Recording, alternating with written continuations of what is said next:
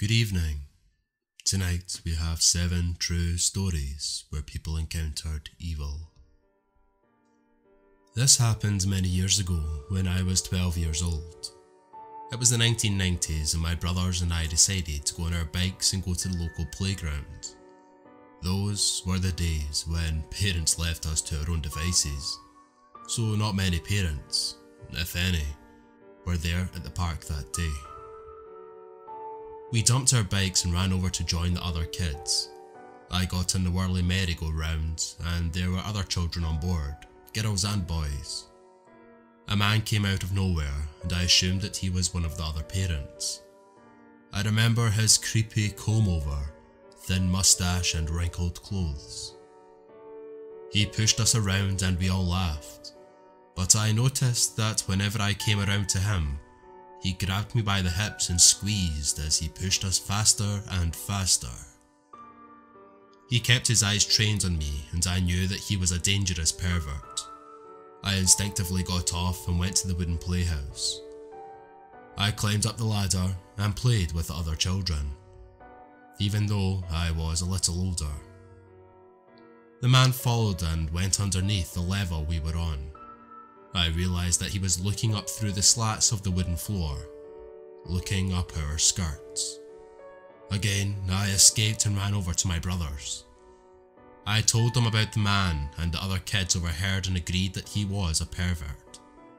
We all ended up yelling at him and saying that we were going to call the cops.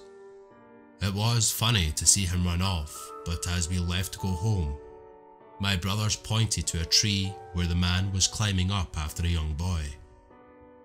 We yelled out again, but he ignored us. The boy in the tree was climbing higher and higher to get away from him. As soon as we got home, we told our parents and they called the cops. We never heard about him again, but I'll never forget that evil look in his nasty, nasty eyes. This is my true story. When I was in high school, I went out with a possessive guy for about three months. He was so jealous and had to know everything I did, everywhere I went and with who. One time I said some silly comment and he actually tried to choke me. That was enough for me. I ended it straight away.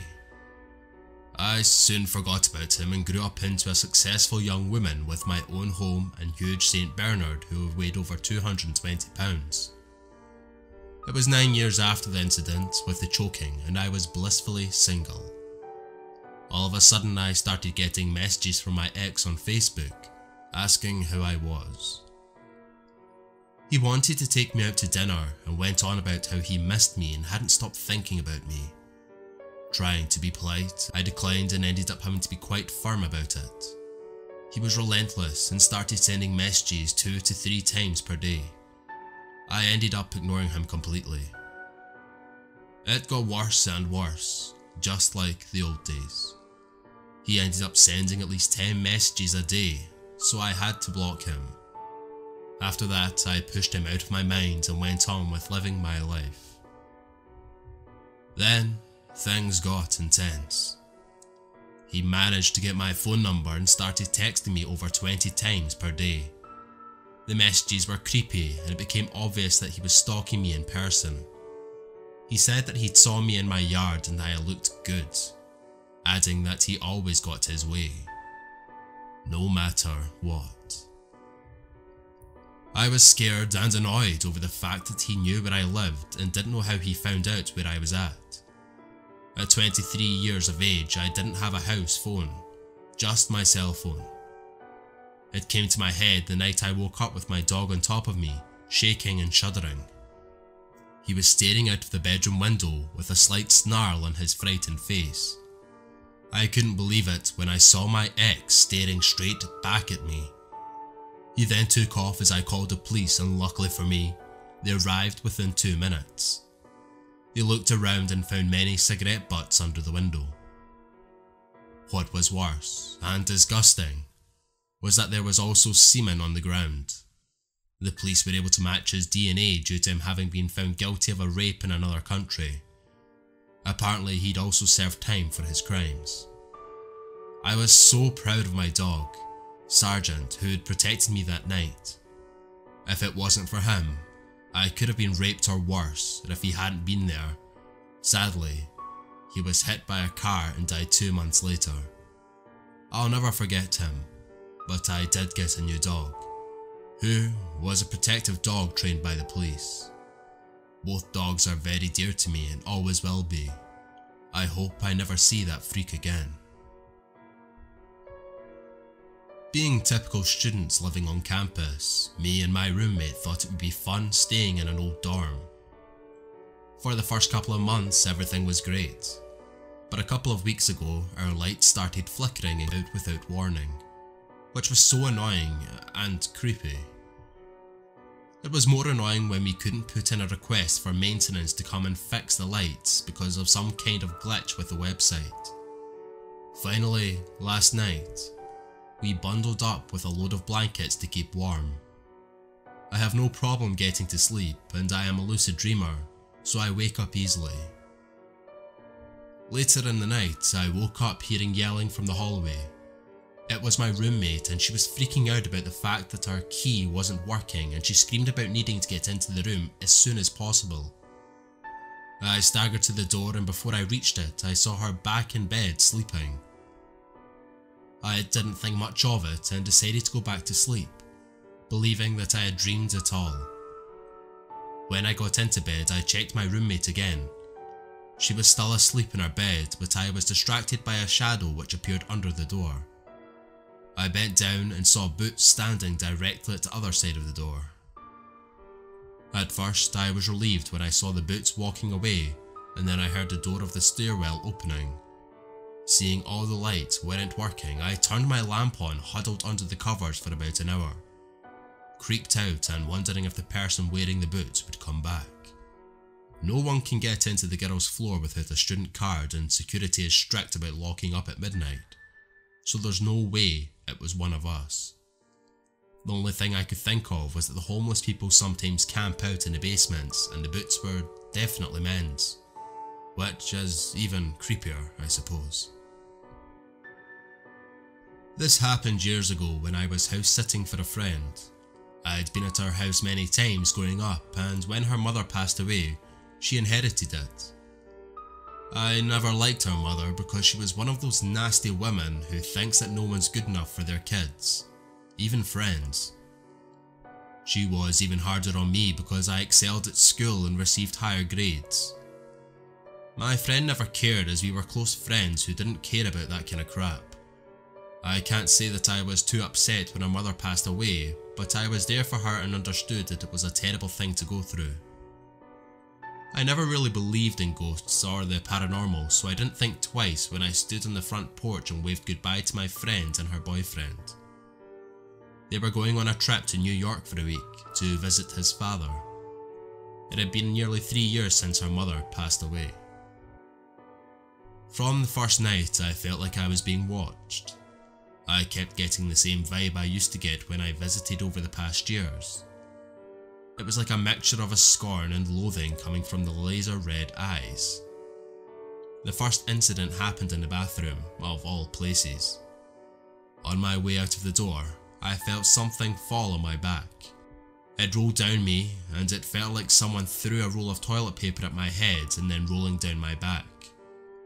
I spun around but nothing and no one was there, so I shrugged it off and left the room.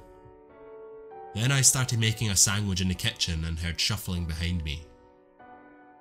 What was freaky about it was that my friend's mother used to shuffle around wearing fluffy slippers. My blood ran cold. I turned that way but couldn't see anyone. The next day I was in the garden having a cigarette with my cup of coffee. All of a sudden I heard a guff whisper in my ear. Loser. I squealed because the voice sounded exactly like my friend's mother. I started losing my temper so I yelled out, Too bad, deal with it. When I walked back inside I could have sworn I heard footsteps behind me. When I called my friend and told her about it she laughed. She told me to act like there was no one there because her mother hated being ignored, even by people she didn't like. I was surprised at how calm she was and she told me that she had hunch her mother's spirit was hanging around and was sorry that I was copping the brunt of it. For the rest of the week, I did my best to ignore the activity. It was mostly footsteps, whispers, and doors creaking, but on the last day, it was like she wanted to send me off with a bang. I was getting the last of my clothes out of the dryer and I got that prickly feeling on the back of my neck. When I turned around, I could have sworn that I saw a pair of eyes looking at me from the inside of the cupboard above the dryer. Thinking that it might have been a rodent or something, I pulled the door wide open. The eyes disappeared, but a terrible stench hit my nostrils. I freaked when I heard an evil laugh. I was so glad to get out of that house that only times I ever visit is when my friend is there. No more house sitting. This is a true story about my brother and Christia, his ex-girlfriend.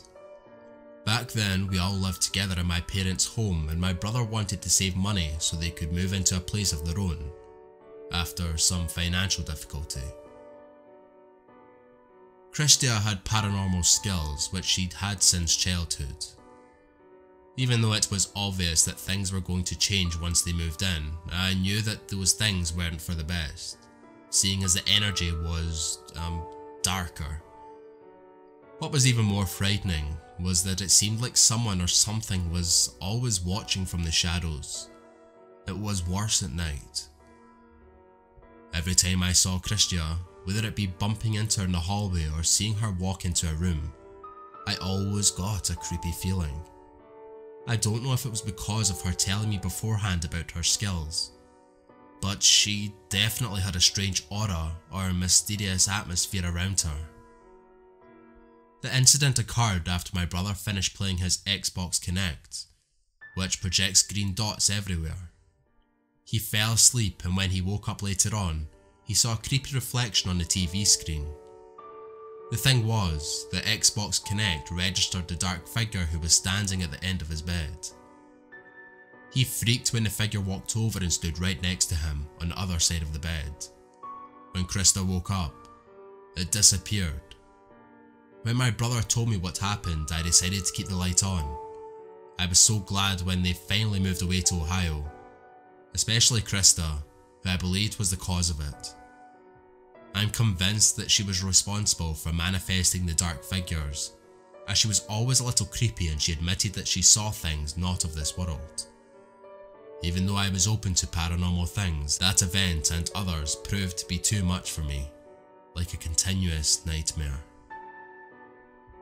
Back when I was 21, I had a car that was about to die for real, so my boyfriend at the time took me car shopping. I've never been all that excited about cars, so I didn't really care what it was, as long as it was reliable and cheap. We went to the next town to a used car dealership. I told the dealer what I wanted and the first car he showed us was a black two-door Honda. For some reason my boyfriend was excited about it, but the car gave me the creeps. He really wanted to take it for a test drive, so he talked me into it seeing as I was young and dumb and eager to please him. The car dealer got in the passenger seat while my boyfriend got in the back. I got in the driver's seat and took my time starting it up. When we were on the road, I asked if the car was cheap because of the fact that it didn't have a stereo, but my boyfriend interrupted and said that he could get me a good deal on a stereo. When I stopped at the red light, I saw all the windows were tinted apart from the driver's, the dealer made out like he had no idea why the driver's window was the only one not tinted. Then all of a sudden I got a severe pain in my head. It got so bad that I thought I was going to be sick. It didn't take me long to know that the car wasn't for me. When I got to the next set of lights, I made an illegal U-turn and raced back to the dealership. My boyfriend was pissed and once we got there I couldn't wait to get out of the car. I was amazed at how much better I felt once I was out of the car. I was angry when I heard my boyfriend trying to strike up a deal, so I screamed no, I'm not buying that car. I then asked the dealer why it was so cheap and wanted to know if it had been involved in a car accident. This was my hunch at the time, and fair enough, I was right. He finally caved and admitted that the previous owner was a 17 year old guy who'd been a victim of a carjacking. He received a gunshot wound in the head and died. They shot him right through the driver's window and then stole the stereo and the speakers.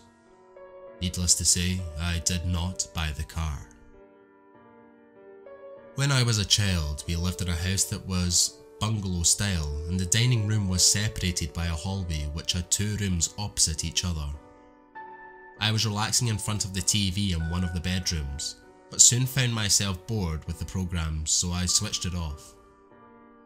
Picking up a magazine and enjoying the articles on horror tales, I was having a wonderful time immersing myself in the stories rather than boring myself with the news on TV. It wasn't until I finished reading when I began to hear footsteps in the hallway. I felt the hairs prick up on the back of my neck. The fear was not only due to the sense of foreboding running through my body, it was the fact that the footsteps were unknown to me. I knew the sounds of my family coming and going, so it was instantly apparent to me that someone else was walking down the hall, or worse, something else. My heart started pounding while I strained my eyes and ears. The heavy thud of the approaching footsteps suddenly diverted and changed into running in circles up and down the hallway. This went on for a while, and I decided to try and wake my niece, but she wouldn't wake up.